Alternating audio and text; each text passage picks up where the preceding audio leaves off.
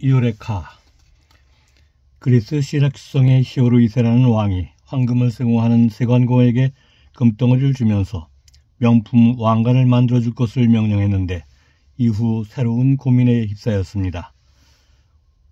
왕관을 만드는 일에 순금 모두 사용하지 않을 수도 있다. 어쩌면 내가 준 금덩어리에서 일부를 빼돌리고 불순물을 섞어 사용할 수도 있어. 그래서 왕은 당대 최고의 수학자로 불리는 아르키메데스를 불러 말했습니다. 그대가 나의 고민을 해결해 주오. 나의 이 멋진 황금 왕관에 다른 불순물이 섞인 것은 아닌지 조사해 주시오. 하지만 그 과정에서 왕관을 부수거나 녹이는 일은 절대 허락할 수 없소.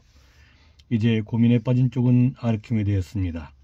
아무리 생각해도 왕관의 순도를 측정할 묘안이 떠오르지 않았습니다.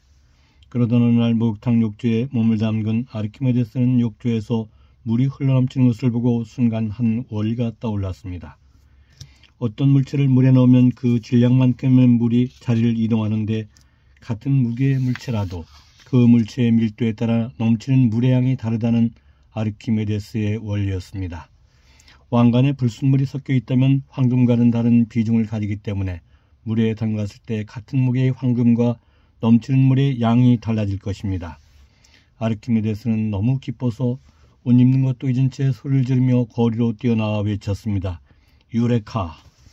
유레카는 헬라어로 알았다, 찾았다는 뜻입니다. 미국 캘리포니아 주의 표로도 사용되고 있습니다. 살다 보면 어느 순간 갑작스러운 깨달음을 얻기도 하며 기대하지 않았던 찬스를 얻게 되어 뜻밖의 역전을 쟁취하기도 하고 어이없는 행운에 환호하기도 합니다.